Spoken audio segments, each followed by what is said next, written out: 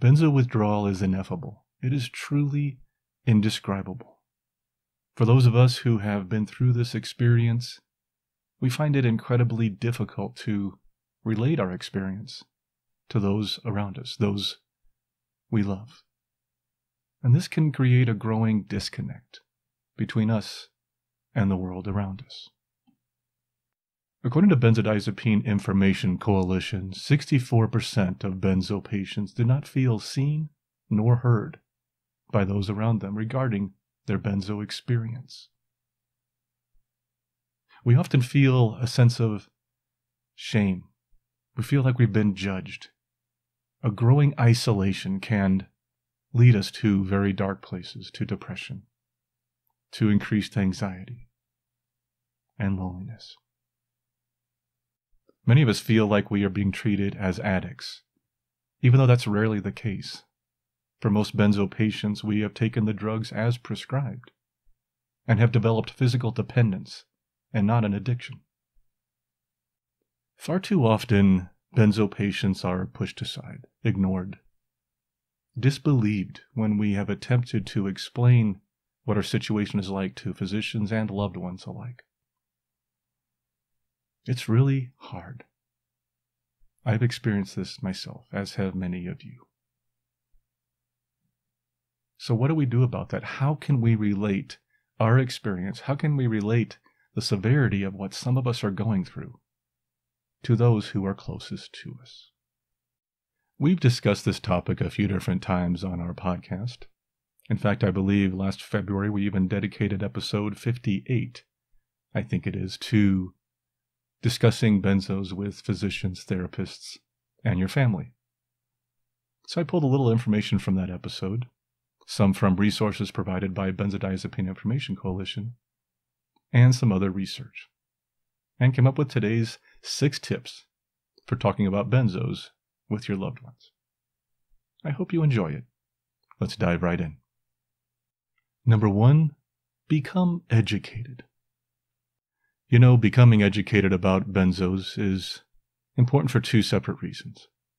One, it's important for your own healing process. The more you know about what's going on, the more likely you'll be successful if you choose to withdraw. And second, the more you know up here, the better you can relate what's going on to others, especially to those around you, those closest to you. And where do you find reliable information on benzodiazepines and what you're going through? Well, that's why I'm here. Let me give you a few suggestions. Number one, two, three, four, and five are the Ashton Manual. If you haven't heard of it, check it out. You can find it at BIC's website at benzoinfo.com slash Ashton Manual. This is the primary resource for benzodiazepine withdrawal available today. If you haven't read it, do so. And once you've read the manual, where do you go to next? Well, I would say read it again. but let's just say that you've had enough of the Ashton manual and you're looking for more information. That's where BIC's resources come in. Go to benzoinfo.com slash resources, and you will see a whole variety of articles, research, printables, links to websites, podcasts, videos, just a vast array of information all about benzodiazepines. If you can't find enough there, then you're not really looking. now, there are plenty of other resources out there, and some of them are excellent. But just be cautious. It is the internet, after all, and not all the information is accurate. Number two, be honest and open. You know, you're in the middle of this you are dealing with your anxiety symptoms and your symptoms of withdrawal 24 7, 365. This is something my wife would often remind me of. She'll, you know, get off on some other subject or some other task or whatever, and she'll wonder why I'm not responsive or I'm not able to participate or whatever. And it's because she sometimes forgets. And she's lived with me for many years going through this, but she doesn't live with it 24 7. We do.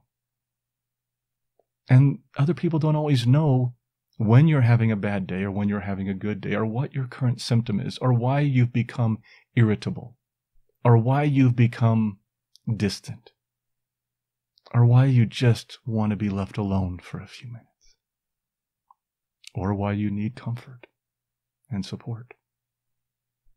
It's important to let those who love you know that you need support, you need help. Be honest with them about what you're going through. Now, this is not an excuse to complain all the time. That gets old fast.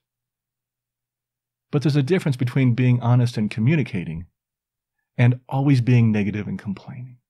Finding that balance, finding that sweet spot is an individual choice, but it's one that I think is important to find, especially during an ordeal like benzo withdrawal. Number three, speak calmly, concisely, and clearly. Now, this is Communications 101, and many of us know this, but I think it's a good reminder. We are often extremely emotional during benzo withdrawal, especially during some of the acute phases and more severe, severe times. And it might be difficult for us to really get our message across to other people. Our emotions can overtake us, and it might be hard for people to listen to us when we're not clear, when we're not concise about what we're going through. Now, this, this does not mean suppress your emotions.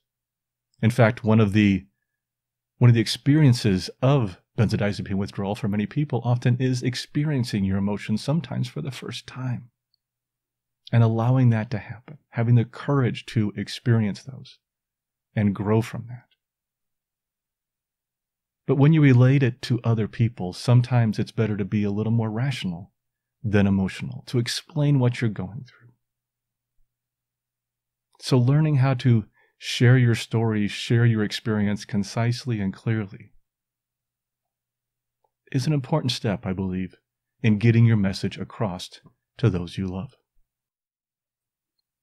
Number four, provide reading material. Now that you've done your own research, why not provide some of that for your loved ones to read, if they're willing?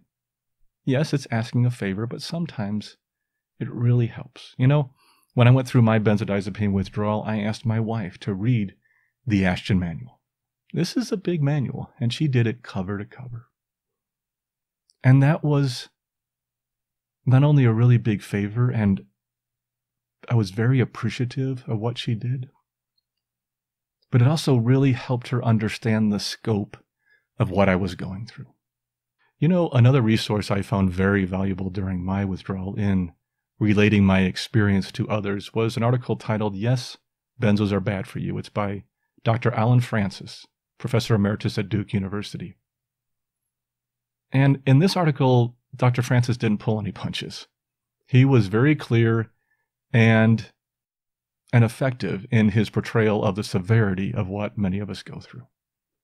And being from a renowned psychiatrist, I believe made it more effective, especially to medical professionals like physicians and other psychiatrists, but also to family members because it was only a two page article. So it was something people would read and help to get the point across.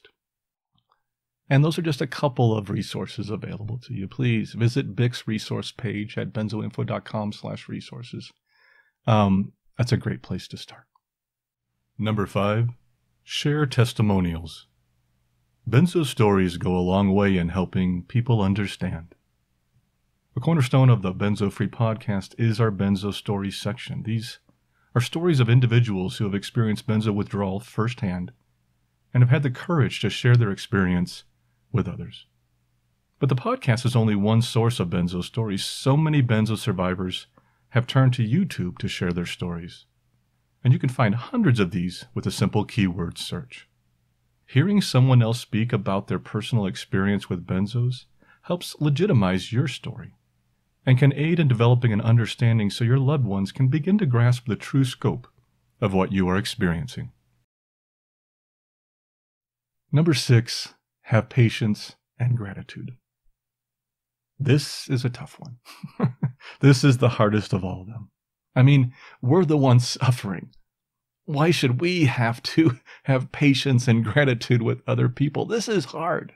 This is a full time job just managing our symptoms and getting through the day.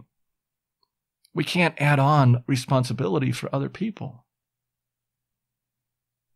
But we need to put ourselves in their shoes sometimes and realize that it is hard to understand the severity of this if you haven't experienced it. It's hard to believe other people are suffering when you're not going through it too. You know, a perfect example of this was um, I had a friend a while back before my experience with benzos, and she was dealing with fibromyalgia. And she would often, you know, be unable to attend certain events or be late or have problems or whatever, and it was always due to her fibromyalgia a disease that people can't see. Sound familiar? And I must admit, I doubted her condition. I'm telling you right now, I doubted her condition. I thought she was using it as an excuse to get out of things. It's human nature for me to doubt that. And it's human nature for us sometimes to use our conditions or diagnoses to get out of things that we don't want to do. But when I went through my own benzo experience, I learned what it's like to be on the other side. And I woke up and I understood. And I have a lot more empathy, a lot more patience now for people who are going through health crisis. You know, being a caregiver for somebody going through benzo withdrawal is a huge ask. It is a very hard job. My wife went through it, and I can't imagine what I put her through. And so many other people are doing that, whether they're the full time care person like a spouse, a child, a parent, or part time like a friend or colleague or neighbor. It's still a lot to put somebody else through. But we need to. We need support for this, to go through this. You need other people. We do in life in general, but especially during such a difficult time as benzodiazepine withdrawal. So have a little patience and have some gratitude for those around you, for those who are still there, for those who are trying to take care of you, for those who are trying to understand what this is really like and what you're going through. For more information about this topic, please visit some of the resources we've listed here. To learn more about Benzodiazepine Information Coalition, visit their website at benzoinfo.com. My name is Dee. I'm host of the Benzo Free Podcast. You can learn more about what we do at easinganxiety.com. And remember, keep calm, taper slowly, and take care of yourself. I'll see you next time.